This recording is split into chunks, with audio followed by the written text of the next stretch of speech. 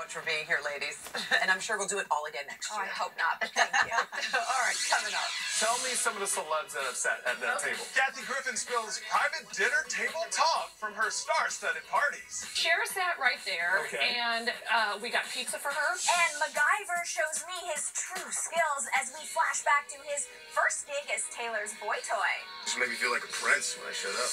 That's all straight ahead.